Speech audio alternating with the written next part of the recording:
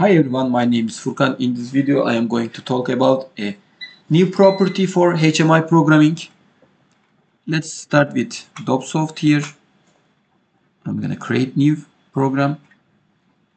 When I click any numeric entry here, for internal memory part, you see there, there are only three choices. But for DiaScreen,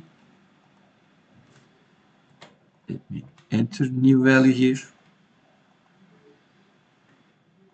When I click internal memory to be able to make sure, let me create a new one with empty project, sorry.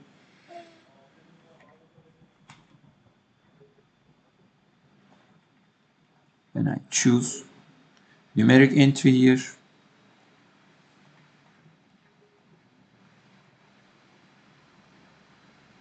you see there are lots of addresses here.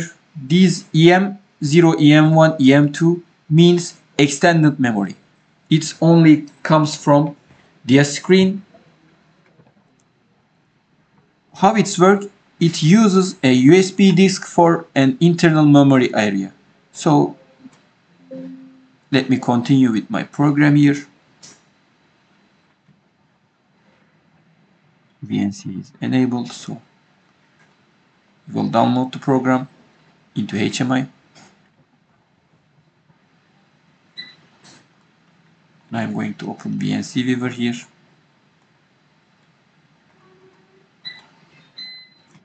this is my IP this connection let me show you the area first for this screen. These is my these are my addresses for used. For example, if I wrote here 555, for example, I can use any value here. When I click disk remove here, this is remove storage, my value will be cleared. So when I try to enter any value, it gives me an error. So I will plug out and then plug in my USB. USB is reading and the value came, came again. So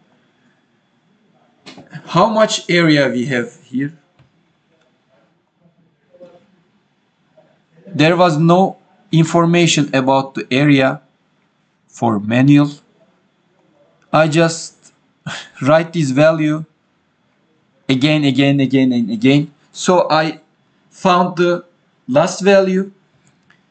This is the area for EM0.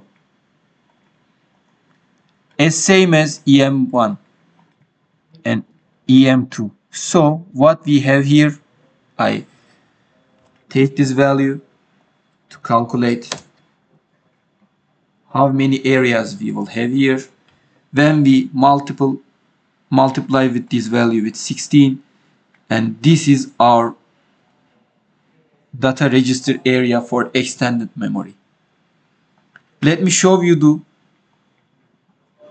first I will remove my disk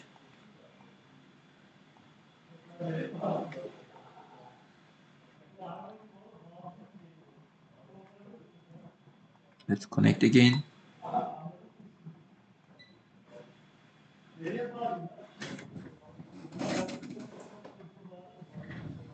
Sorry.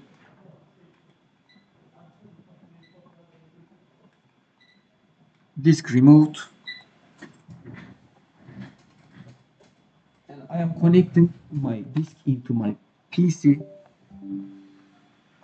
I am opening it and these are my area and it's saved with the dot emi and let's look at the size of it and you can see here almost 7 uh, 7 gigabytes what we get from here we can use the screen with extended memory for 7 gigabytes of new values. Also, For Lua part here, let's open the main section. There are lots of extended memory read write choice. You can use it that way. Thanks for watching. See you later.